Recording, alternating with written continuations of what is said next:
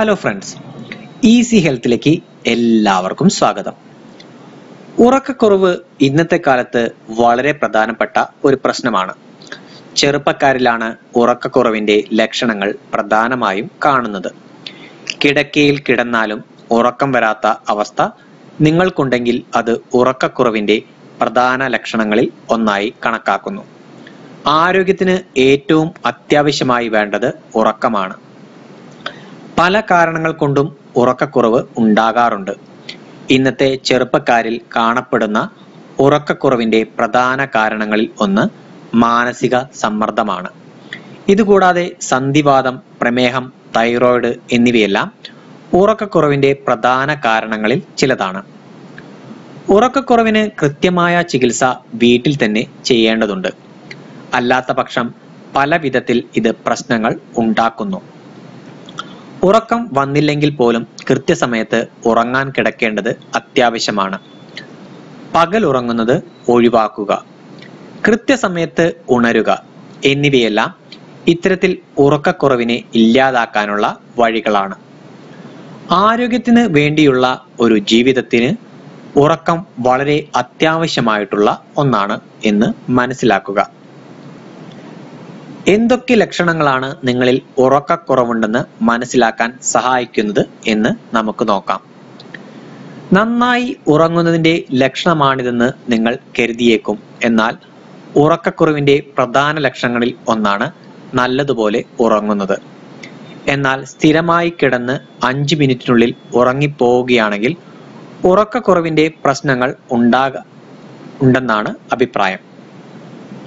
രാവിലെ എല്ലാ കാര്യങ്ങളിലും സാധാരണയിൽ കൂടുതൽ ഉത്സാഹം കാണിക്കുന്നതും ഉറക്കക്കുറവിന്റെ ഒരു ലക്ഷണമാണ്. അമിത ഉത്സാഹം കാണിച്ച് വൈകുന്നേരമാകുമ്പോഴേക്കും ഇത് ക്ഷീണം വർദ്ധിപ്പിക്കുന്നു. ഇതിലൂടെയാണ് ഉറക്കക്കുറവ് നിങ്ങളെ അലട്ടുന്നുണ്ടെന്ന് മനസ്സിലാക്കാൻ സാധിക്കുന്നത്.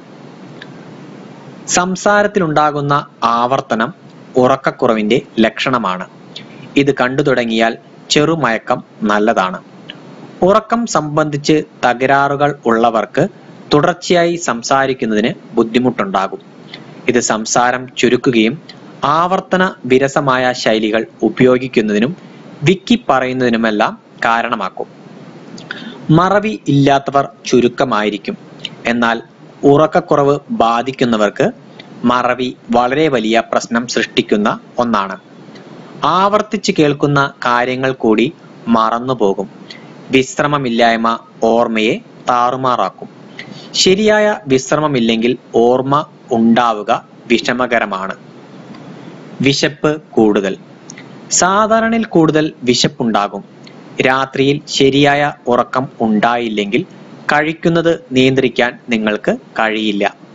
ശരീരത്തിലെ രണ്ട് പ്രധാന ഹോർമോണുകളായ ലെപ്റ്റീൻ ലെഗ്രീൻ എന്നിവയെ ബാധിക്കുന്നതിനാൽ ഉറക്കമില്ലായ്മ നിങ്ങളുടെ വിശപ്പ് കൂട്ടും.